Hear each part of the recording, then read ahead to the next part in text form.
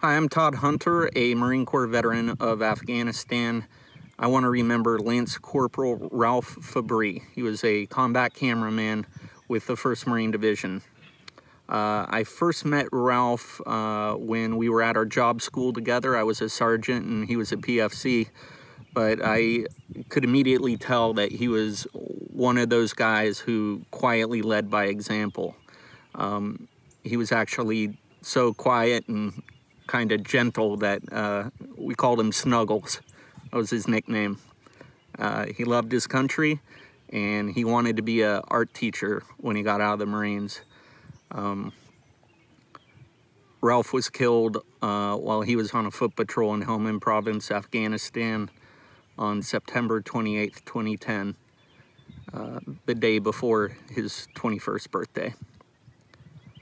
On, on this Memorial Day, I want to remember the sacrifice of heroes like Ralph Fabbri.